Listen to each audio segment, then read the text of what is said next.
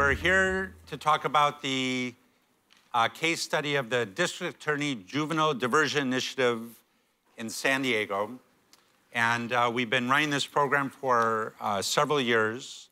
And we have representatives from the program uh, on this panel. So we have uh, Breea Buskey, who is with the National Conflict Resolution Center. She's the program manager.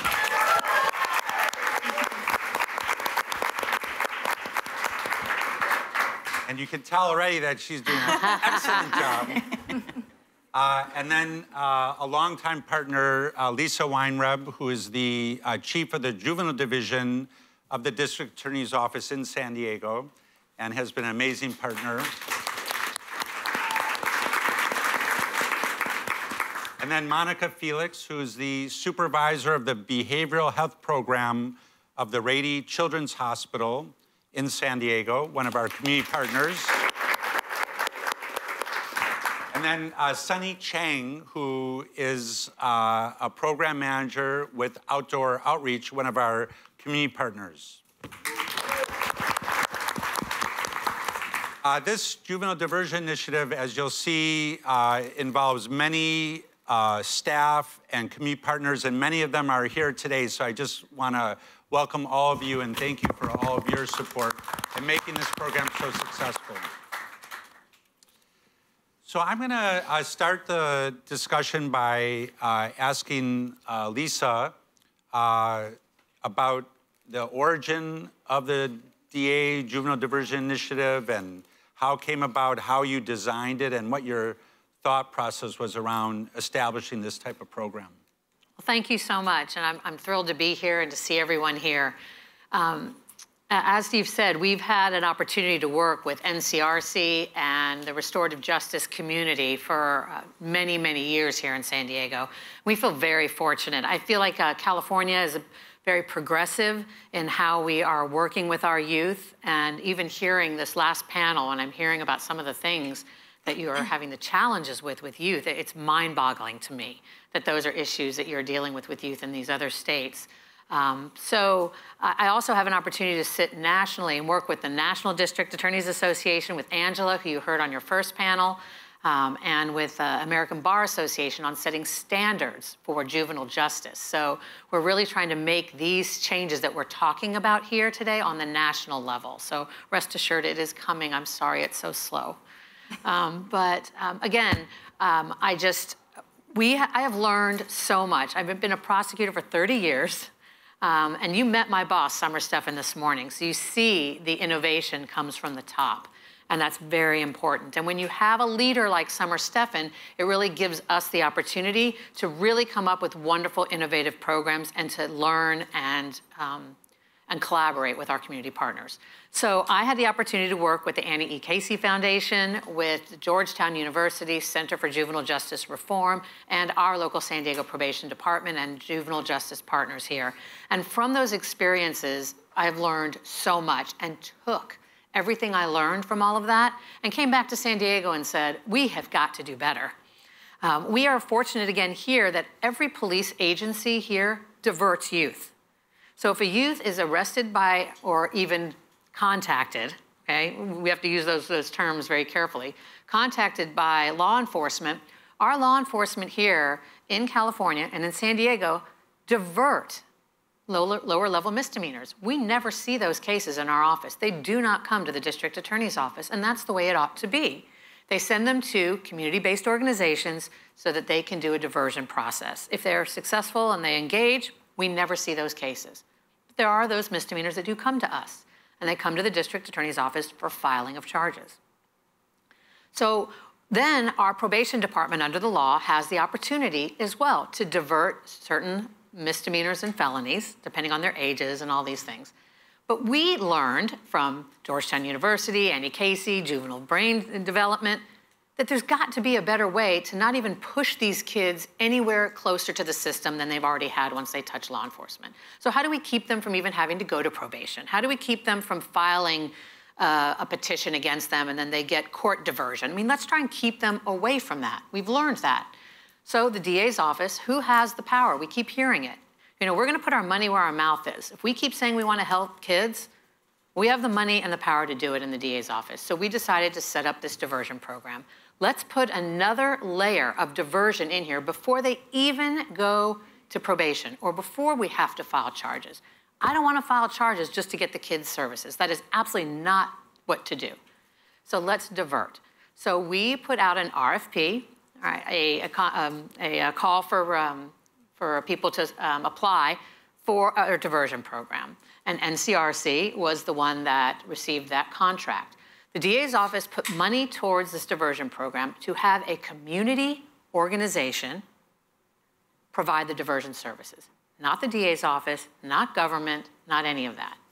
So the cases that ultimately come to us that didn't um, successfully complete the police diversion or that were, um, police can't legally divert felonies. So they have to come to us. So we are diverting misdemeanors and lower level felonies. So we're doing that. So those cases come to us and we review every single case that is submitted to our office. We look at every one of those cases to see if they are appropriate for diversion. Misdemeanors and lower level felonies will go to diversion. Um, what we will do then is we will send them to NCRC for them to then do an assessment of the youth. They do a risk and resiliency assessment tool, very important to determine what the youth's needs are and to see what does this youth need. Now the diversion, we don't get detailed information about all, any of the information that's going on with NCRC. We get to find out and Breea and her fabulous team will give us information on are they being successful, um, are they engaging, but we're not gonna get any details. We don't need that. We just need the community to embrace these kids. We're listening to the community. The community wants these kids back. The community knows what the youth need. The community can wrap around those kids. The youth, the community are more culturally appropriate and competent to provide those services. Um, we are listening and we are trying to, to listen to the community and give those kids back to the community to help them. So we have been sending them to the diversion program, and you're going to hear a lot from Breea about that. It is no more than six months. If the youth completes it in less than that, then they're, they're done. Um, they have to do a skill building and, um, uh, and a wellness program. Those are the two things. And those are going to be tied to what their interests are and what their needs are. If they're not high needs, we're not going to be inundating them with services. We're going to give them the services that they need. We're watching out for net widening. We're trying not to do that. We worked very closely with the community in building this as well, with our justice partners and with the Annie Casey Foundation, who I must thank because we really leaned on Scott McDonald. Scott will attest that I would call him all the time and saying, I'm thinking about this, but it's not feeling right. What do you think? And we would, he would really um, be a good sounding board for me and was very helpful. So I thank you um, for all of that. Um, and one thing that I also want to say is we felt, and we've heard a lot about this today, is um, educational advocacy. That was very important in building this program. We made sure that an educational advocate was available because we heard, of course, we know this, if kids are not engaged in school or have barriers in school, idle time, on and on, we know, we know, we know the drill. So we have educational advocates who are available to assist these families and youth to ensure that the schools are providing the services that they need. We have uh, behavioral health. We have uh, all of our amazing partners. We have 100 linked organizations, 40 to 50 subcontracted organizations of CBOs and grassroots organizations so that we're utilizing it. We are pushing funding down to the communities into those grassroots organizations. As part of the contract with NCRC, it was mandated that they take the money, some of the money and subcontract and push that money into community to build up and uplift community so that they can in turn help the kids. Thank you. I, I wanted to uh, ask you, Lisa, before the other panelists, I, when we started the program, we were in one community and we were really working on restorative programming around misdemeanor type diversion. And then when you went to the larger countywide program, you included felonies, low-level felonies, what was the impetus for that growth in, in the types of cases that you were open to bringing into this type of program and diversion? So 10 years ago, we began working in the restorative justice space with NCRC and Impact Justice. I know that they're here today. Um, and we started in kind of a smaller area of, the, of San Diego. And from that, we were learning. I mean, we were evolving together, and it was really a learning opportunity for the DA's office as well. And from them, we got to see the amazing benefits of the diversion programs, and why not expand it? We, we, have, we see these kids going into court, but we know that that's not necessarily what many of these kids need. So that's where we learned from it and, and realized the, the uh, um, amazing opportunities that we have to divert even felonies um, to these diversion programs. Well, thank you. Uh, well, Breea, I, I, just also want to mention in the audience we have uh, Francisco Carbajal, who is the uh, began as our program manager of the program, and the lessons learned from him were passed on to Breea, and so I just want to acknowledge that. Thank you, Paco. Uh, so, uh, so Breea, you're uh, managing this team, and it's a pretty big team. So, can you explain a little bit about how it's set up and what the role of NCRC is and our community providers? Yeah. So, pretty much, Lisa kind of gave the brief rundown of some of the requirements for the program. But what happens is they send over all these kiddos to us, misdemeanors, felonies, all these different things going on in their lives. We reach out to the families. The DA does not reach out to them first. We bring them in, and then we're trying to gauge immediately what's going on with this kid. How did we get here? We're less concerned about the charge that's attached to them and why they're committing these charges, right? We need to focus on the underlying issues. So once we have these kids enrolled and their families are buying into the program, right? Because that's a challenge within itself, is to get these families to really want to trust in us as the administrator of the DA's program, right? It's the DA's program. And a lot of our families that come in, they don't trust systems. And so now we're immediately trying to build this relationship and this rapport with this family who has not had a good experience. And then once they are bought in, they're all enrolled, then yes, we do an assessment. And the assessment is to show us what are the highest needs of this youth? What do we need to provide while this kid is in our program? But more so for our team, we're trying to understand besides what the assessment is showing us, what is the kid telling us, right? Are we really listening to what this kid is saying to us and what the parent is telling us is needed for this kid to be successful. And based on that, we're sitting down with this kid and we're coming up with a case plan. And that's how we're deciding what's gonna be required. What are their strengths? What are they interested in? What are they gonna commit to without being told you have to do this or else you're gonna get sent back and you're gonna have your charges tied to you forever? Because that doesn't work. We've seen it. And once that's done, we really are just connecting these youth to these community organizations like the woman that you just heard on that panel who are doing the work, who have been doing the work, who have invested their time and their years in understanding the communities that they're serving. And of course, if we have people harmed or victims, right, attached to these cases, that's where we're tying in the restorative practices and we're bringing everyone together in a circle, in some type of a space to really repair that harm. Let's get it all on the table. Let's talk about how the kid got here. How were you impacted? And how can everyone move forward and try not to be back in these type of situations again? And of course, the kicker of it all, you know, if the kid is successful, they go through everything they need to do with all of our support, the charge disappears. The charge is dropped, their record is sealed, and they can start over again. And it's really important for NCRC to make these connections and identify these partners that are in these youth's community so when they finish JDI, we can hand them back, right? And they can know you still have us. You can call us, you can reach out. Don't come back to the program, but you can reach out. We're here to support you. But these people are here for you. There's mentors that are down the block that they may not have known were there until they got sent here. And we try to pitch it, you know, it's a blessing in disguise for a lot of these youth because they would have never got the services that they deserve and that they really needed if they weren't sent to this program. Could you just describe a little bit of the scope of the management, like who's on your team from NCRC? Of course. So I have a great team. Um, I have a community and engagement and outreach manager who's sitting right here up in the front, who is number one in identifying all of our wonderful community partners and service providers to bring these services to our youth. I have six case managers who are really like the front runners. They're the ones who get the kiddos. Yes. Um, and our doing the work and really uh, trying to understand and gain this rapport with the kids and connect them to these services that they need and that they want, right? Sometimes they don't even know. They're like, oh, I don't know what I'm interested in. And the case manager pulls and pulls and pulls. And they're like, yeah, you should try this. And like, just get them to try something new. I have two case coordinators who essentially do half admin and half support the youth and the case managers, right? So they're hitting up the families, they're reaching out to subcontractors, they are making sure kids are getting transportation, they're where they're supposed to be, making sure case managers who have 30 plus kids are really supported and having that extra set of eyes and hands to really assist these kids on their journey. Have an administrative assistant who's awesome. She's brand new. She is my number one translator. um, she's great with our Spanish speaking families because we are in San Diego, right? And we know that that can be a major barrier if the cultural competence and understanding is not there. And so she does a great job of looping all of that together and just having these families really understand, you know, this is why we're here. And like, this is, it's, we're gonna help you. Like, this is not just, oh, we're just here to get money and look at numbers. Like, none of my team is here for that.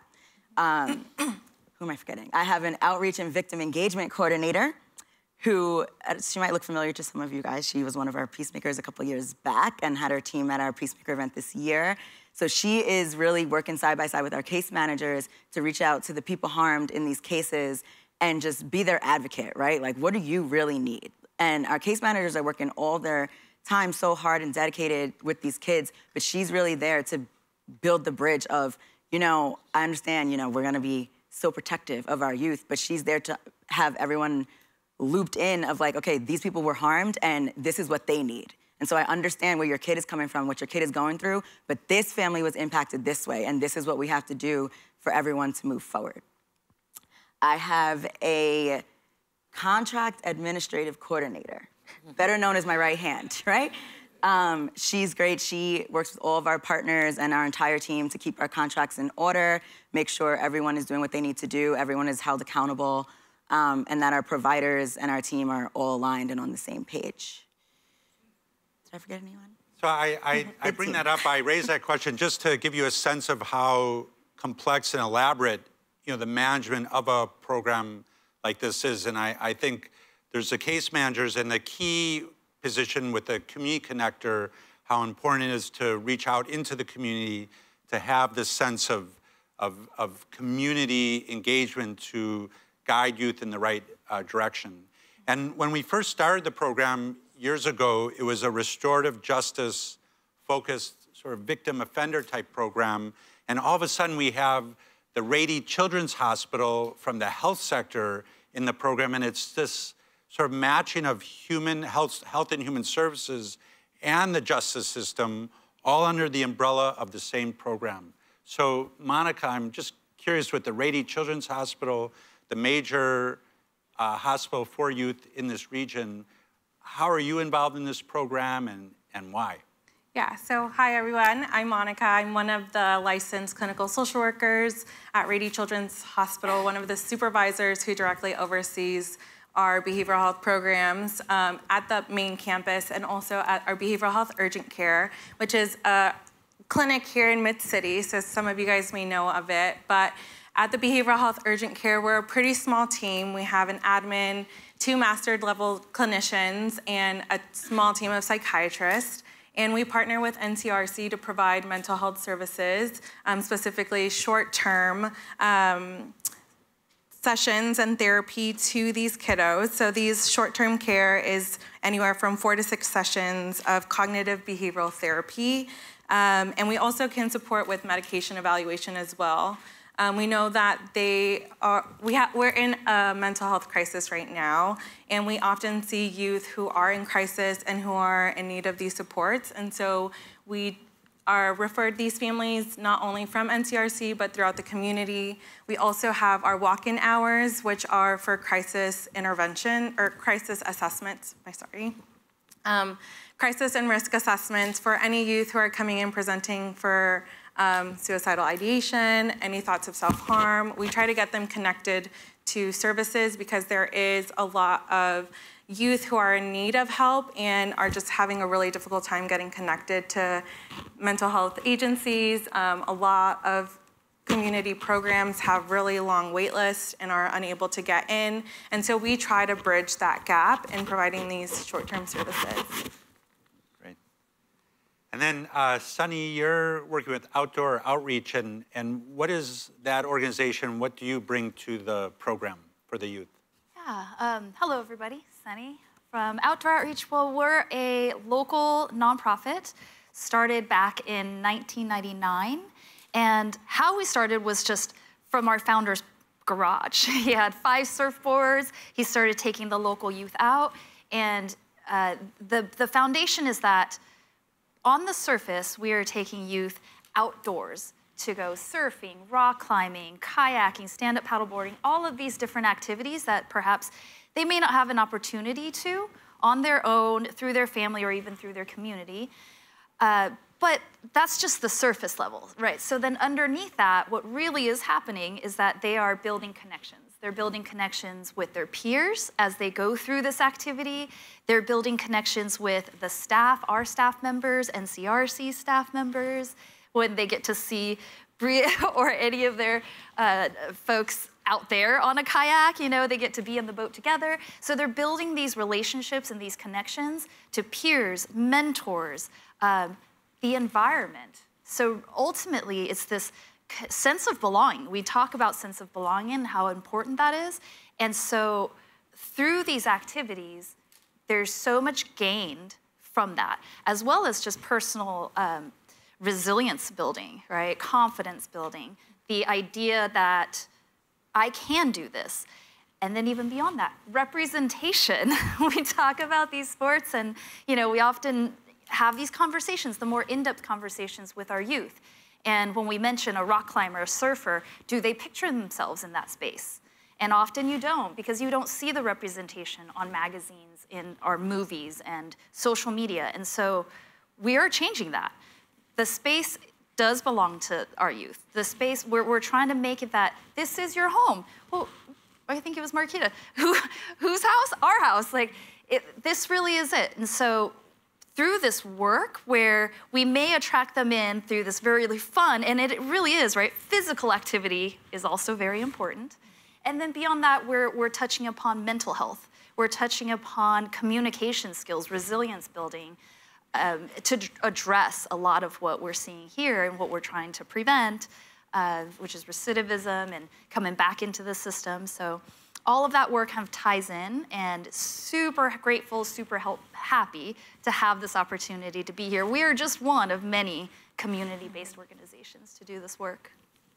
Yeah. Lisa mentioned uh, that we do this uh, an assessment and we analyze, you know, what are the key factors, underlying factors with the youth. And social disconnectedness is the number one factor we see across every youth that comes through the program. How does outdoor outreach deal with that issue in terms of lack of connection?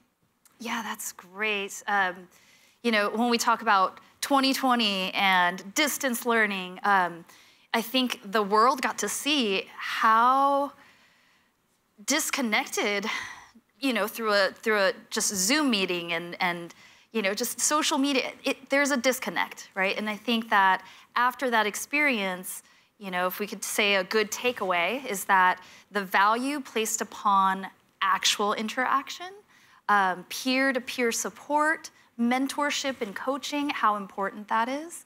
And through this work, you know, it's it's the challenge of, oh, you may not have been in the ocean before, you may not have swam before, you may not have been, you know, 30 feet up on a rock before, but the connection is that not the act of doing. The connection is that you're challenging, you're, you're feeling yourself in this like vulnerable space along with everybody else. Right? And sometimes it's not just the peers, sometimes it's their teacher, sometimes it's their social worker.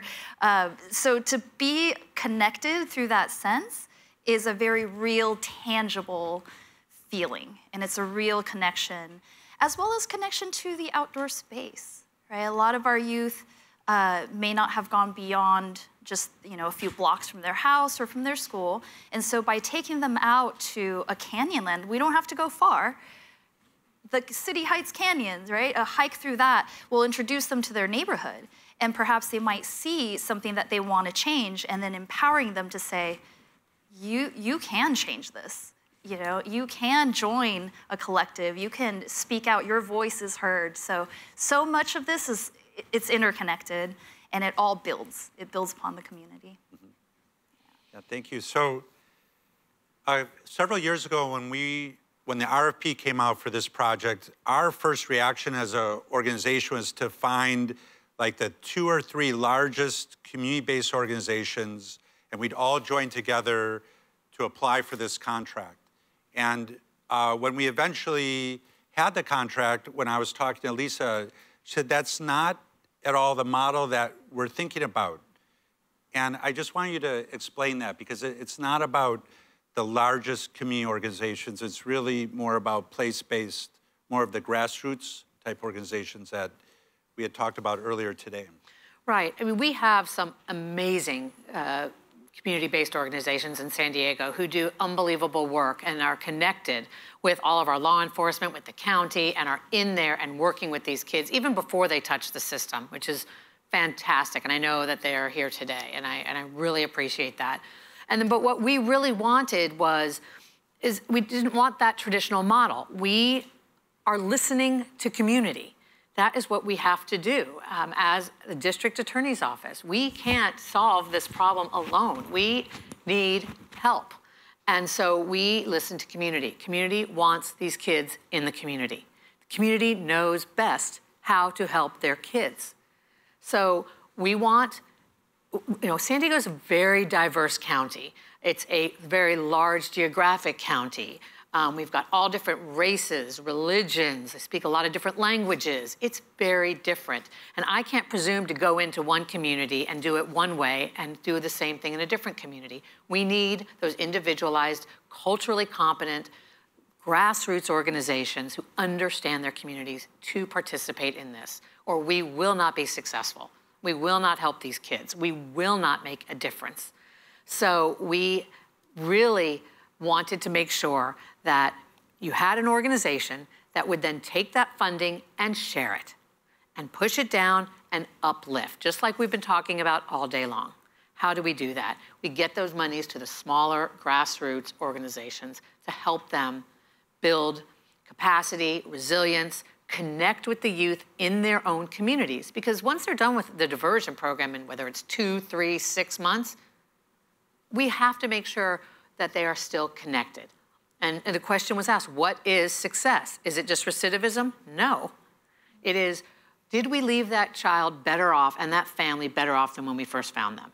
And if we leave them and they're connected in some way, whether it's outdoor outreach or it's or they've got they receive their behavioral health services they need, or their educational advocacy, or we're connected or, or we're connected to some other one of our 100 linked organizations, then we're successful. And if they do come back and touch our system again, well, you know what? We may still send them back to diversion again. We have to look and see what it is. Just because they came back again doesn't mean they don't get a chance to go back to the JDI diversion program. So we look at all these different pieces. Um, so that was why it was very important to have community. It's integral in this, or it will not work, and we'll just be back in the same situation that we've been in for the last, what, 50, 100 years?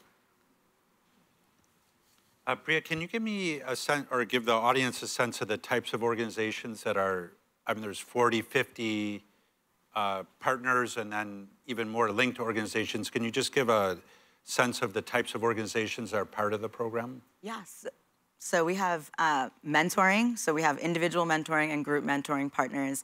We obviously have mental health partners uh, down here and in North County. We have uh, skill building, so outdoor outreach. We have different um, athletics. So boxing is one of our most popular ones. Um, we have, I have notes on this because there's so many of them.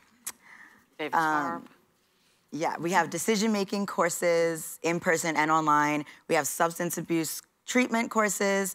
We have, of course, educational advocacy, which is our number one rock star over there. Mm -hmm. um, we have family-based therapy, and we have apprenticeship um, opportunities. Mm -hmm. Great. So as you've been managing this program, uh, have you, what are some of the challenges? I mean, this is a really a new, relatively new program. We're just learning every day. I mean, what are some of the challenges that you've seen just getting this program off the ground? Yeah, so I think one of our major challenges has just been flying the plane while we're building it, right? So, like you said, this is new. This is something that's different and unique. And so we're constantly learning and trying to adjust so that we can provide the best service to our youth and our families. And it's interesting because when the program was designed, who was at the table is not who's on the ground doing the work, right? And so on paper, the numbers look good. It sounds good. This is gonna work great. And then in practice, you start to see like, oh, this does not work, or we need to adjust this, we need to change this around.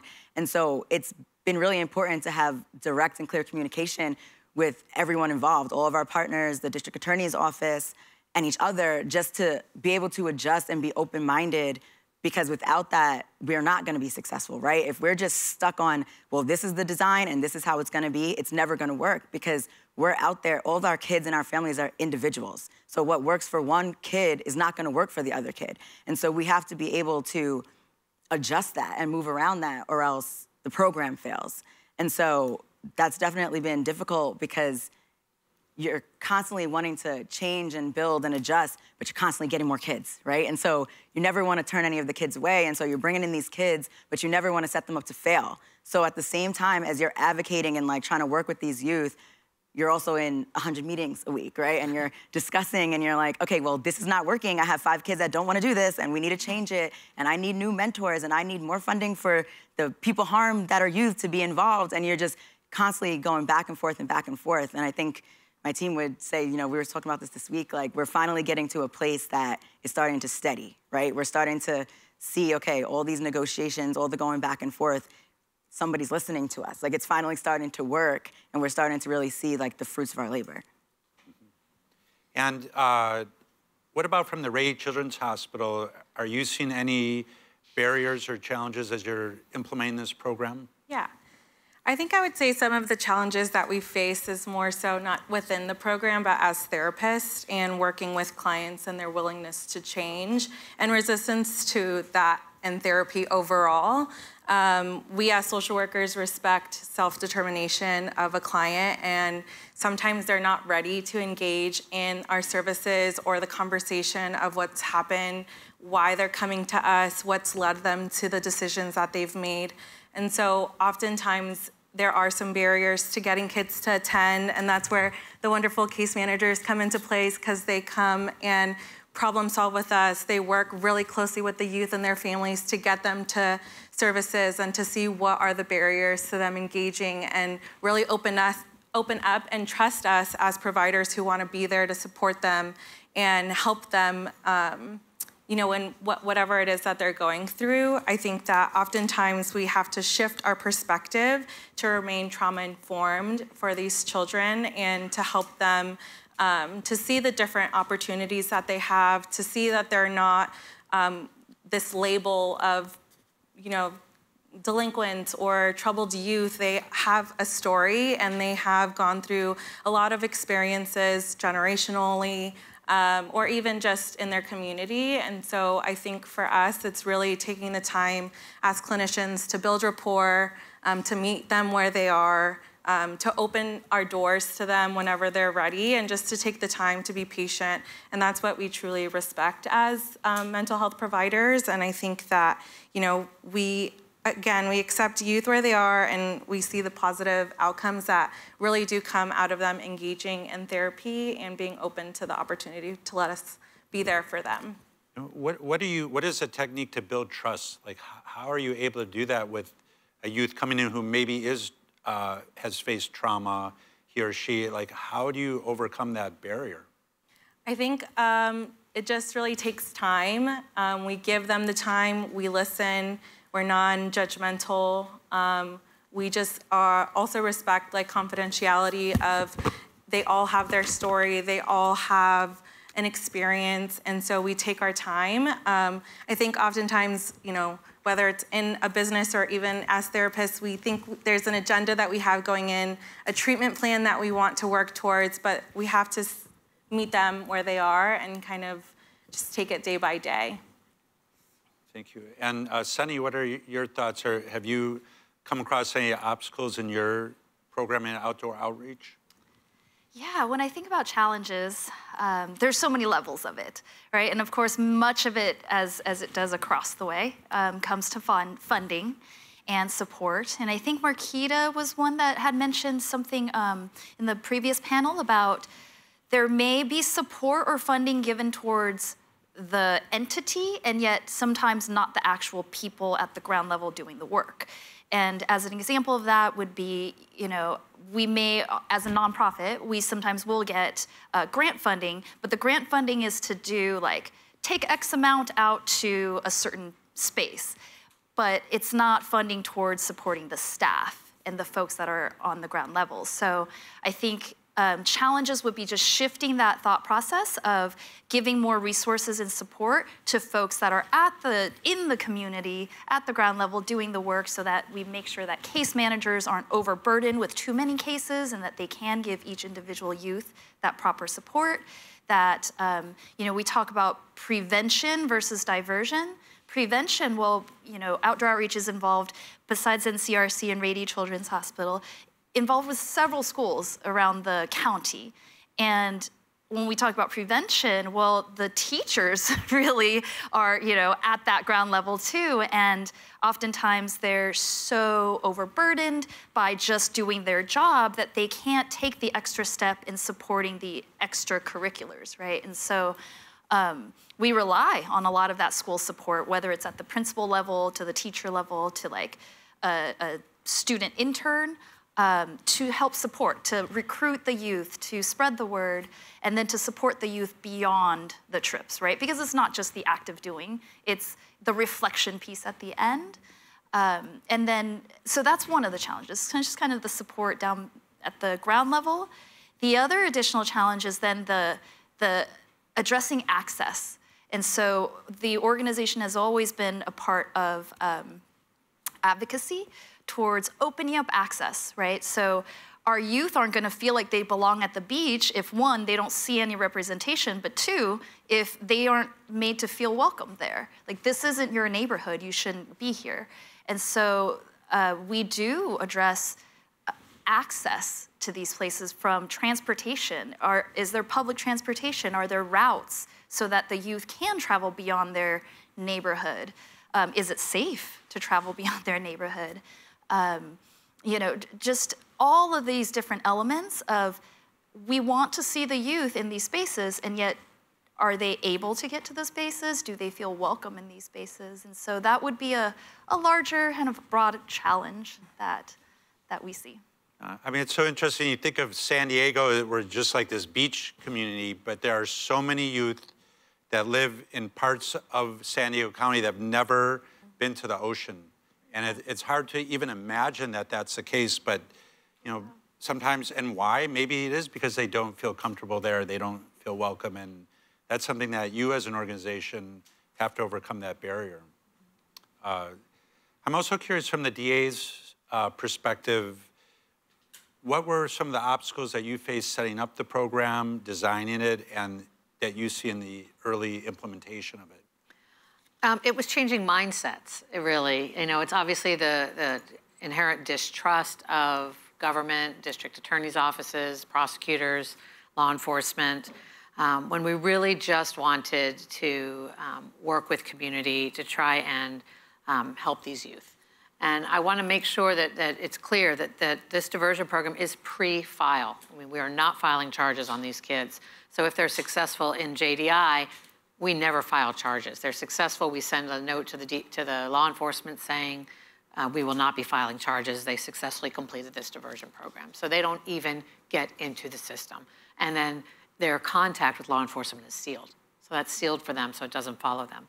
So, so it was the, you know, it's just, it's trying to work through that um, um, all that historical trauma that the community feels and trying to work with the community. And it just takes time in building that trust. They have to learn to trust us, um, that we're just trying to, to work with the youth. It, it's, it, it's difficult, but we are getting there, and um, I think that's working well. Um, also, you know, some of the challenges, we actually, it, people were very open in San Diego to this idea. We worked with, um, when we were setting it all up, we worked with the public defenders um, office. They were very involved in all of this. With, with law, law enforcement was involved. Um, our Children's Initiative, which is a, a, big organization here in San Diego that works with um, all programming for our youth, was involved in it. Of course, Andy Casey Foundation. Um, so we really worked with a lot of different local um, and, and community to create the program. We wanted to make sure what we were creating was actually going to be helpful. You, we can't go out there and say, this is what we've created, here, community, do it. That is absolutely not the way to do it. So we needed to build it together so that we made sure that, you know, I may have ideas that are um, not, that won't work, right? I mean, my experiences are different than other people's experiences. So we needed all those different um, lenses to come together in the room to create a program that would actually work. So um, I don't think it was a that part was a challenge. It was actually a really wonderful experience working with everyone, coming together to do that. Um, but some of the other challenges I think that we have are engaging, getting the families to engage. And I, I mean, Breea, we talk about this all the time. It's it's very hard for the families to get that trust, but they're working and doing a great great job with that. So I think that's something, and also getting the victims or the persons harmed engaged in the restorative circles. That's hard as well. Um, so those are some of the things that we continue to work on, and we're learning uh, on how to do that better together. I, am uh, curious also in San Diego, the DA, it's an elected position, and I think in different jurisdictions across country, sometimes it's an appointed position, other times elected. And uh, years ago, when the model first came to San Diego, came from Oakland. That was at the very beginning. And I remember talking with the previous district attorney before uh, Summer Stephan, and she was saying there is this model in Oakland, but San Diego is not Oakland. Uh, there's a different uh, constituency, it's different politics. You know, there's Northern California, there's Orange County, there's San Diego, and we have different types of limitations in our region versus possibly in the north. And I wonder if you see you know, politics, like if that is at all a barrier in terms of, like in our electorate, you know, maybe people are thinking about accountability and consequences. And like I'm starting to hear even in the schools when we do restore practices in schools, the term restorative is starting to have a certain connotation that maybe some of the families feel was restorative is that the opposite of accountability? Does that does that not include consequences? So there's this uh, um, tension sometimes, I think, with the community versus uh, law enforcement and, and, and creating this type of paradigm shift. And so I'm wondering if, if you come across that in the DA's office. So Yes, to some degree. But you know, you, when you have a, an elected DA at the top who has the courage to do what is right, then that's where it starts. You have a DA who has the courage to say, you know, this is what we now know. We know juvenile brain science. We know what works. We know what doesn't work. We know that the community needs to be involved. You know, at the DA's office, I don't want to go and put a kid into the juvenile justice system. That is not what I wake up in the morning to do. Um, I, have, I have two children. Um, I, I, understand the dynamics of kids and, and their juvenile brain science when I wake up in the morning, I want to make sure my community is safe, just like every one of you in here. And what does that look like? It's not charging a kid and putting him in custody. That, that is not what it looks like. Um, it, what it looks like is figuring out what that youth, that family needs. How can we appropriately address those needs and keep the community safe? Mm-hmm. And then we make the decisions on what are, what are the appropriate steps. So we are fortunate in San Diego that we have a DA who does have that courage. And so, yes, do you get people that push back? We, we deal with victims every single day who say, I don't want this kid to go to the diversion. This kid should be in juvenile hall. And I say to them, well, this, this youth does not need to be in juvenile hall. This youth needs some services. I'm sorry that this happened to your child. Um, and we have to have those hard conversations, and they're, they're difficult conversations because if you know your child was injured, you'd want, you'd feel something. Um, but it's it's not about um, you know accountability isn't always punishment. Accountability can be having the conversation and trying to restore the harm, talking it through, restorative circles, um, learning empathy, addressing whatever the, the underlying cause of those problems are. I mean, there's so many. We could talk about that for hours. But um, accountability means a lot of different things. And it's, it's, it's our office have taken the responsibility of talking to the community to say, this is what we really believe is the best, and it's based in science, and it's based in research, and this is what's going to make our community safer. We have to have those conversations. Mm -hmm. Do you have a question? Yeah, a question. Um, when you say, uh, just for the, uh, the prosecutor, you talk about the, uh, juvenile program, did you survey the community to find out what they believe that youth that are engaging in negative behaviors, what those youth need, and then come back to the office, develop an RFQ, and then send that out to the community to say, okay, now, based on what you guys say the children need, who best in the community from a community perspective to deliver these services? Is that how you did it, or? No, what we did was is that we worked with um, the Children's Initiative, that is the one that kind of convenes a lot of our local community organizations, and we worked with them. And we sit. We're very collaborative here in San Diego. We meet with our big community-based organizations on a monthly basis. So we're very um, in tune with all the different services that are there. And we see and we learned about all of the different ones. So what we did is when we did the RFP, we were really, um, we gave a lot of latitude to the organizations to come to us and to create the program. We didn't say this is what the program had to be. We gave some parameters of what we, we thought the program ought to be. And we said, please build one and come back to us with what you think um, would be an appropriate program. And then they would come back to us, and they did. And then we came, would, would kind of go back and forth and say, well, we need some more information on how you're going to address the person's harmed, or how are you going to address substance use disorders? How are you going to address? So we really kind of left that open, and then we allowed NCRC to then go back and reach out to the rest of these organizations in San Diego. They do an amazing job of ho holding all of these what, I'm sorry, I'm not going to know what you call them. You uh, you have these um, subcontractors. No, not subcontractors. You have you have these um, engagement meetings all the time. Stakeholder meetings. Stakeholder meetings. I'm so sorry. Quarterly meetings. Quarterly meetings with all the different communities and to, to educate and to learn and listen me, listening meetings and then they come back to us and say and the collaboratives. The collaboratives. There you go. That's what you. Yeah. There's a lot of meetings. a lot of, so they have these collaboratives that come back with the, okay, this would be DA's office, another organization we want to link with, and we're like, Yes, fantastic. Do you use MOUs to kind of uh, make the, all the governmental entities and like coalesce together? We like all agree we're all going to do X, Y, and Z? So we, if we succeed, yes. we all succeed. But if we fail, we all have to share the burden.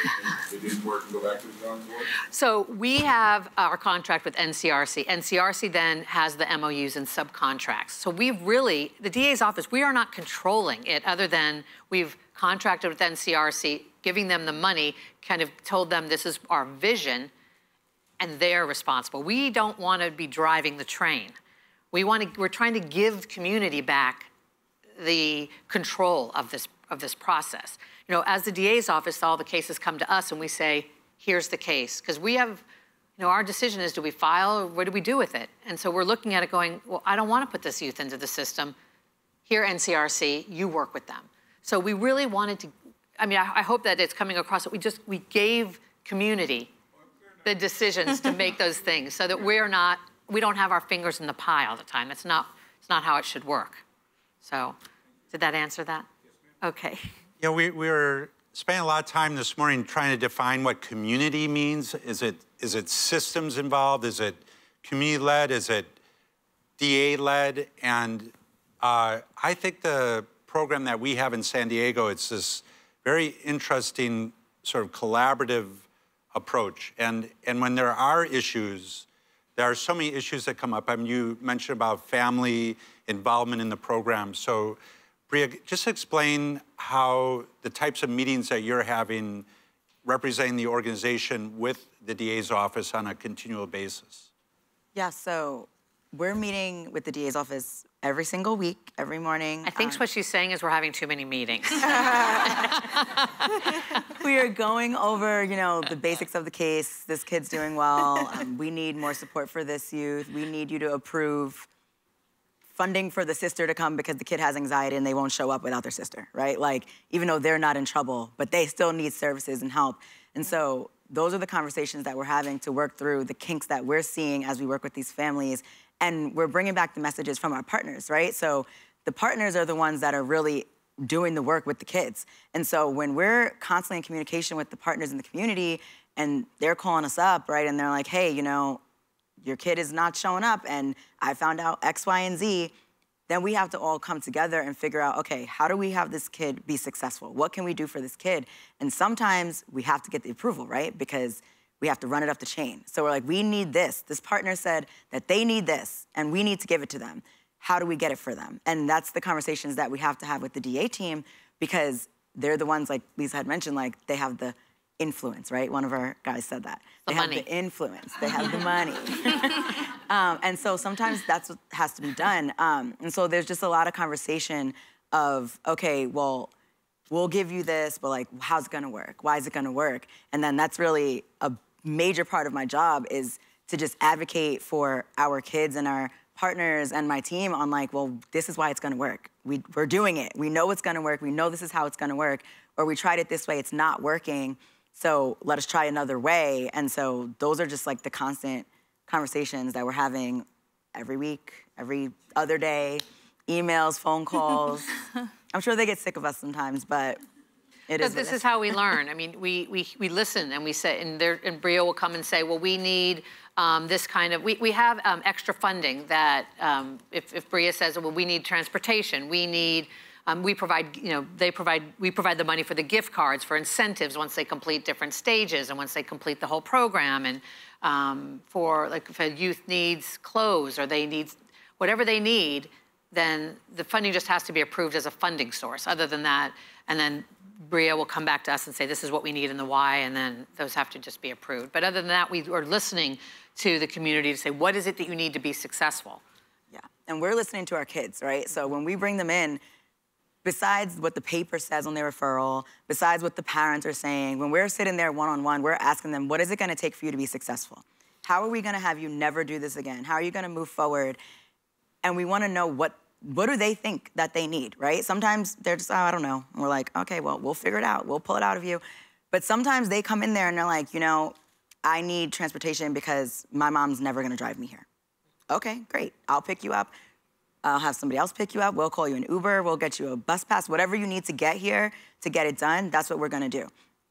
Some kids, you know, we see the parents day one, they sign the paper, and then that's it. We don't see them again, right? And so, how do we now support this kid? How do we get them where they need to be, what they need, what they want with no parental support, right? And like, that becomes hard because when you let them walk out the door, you don't know what's gonna happen.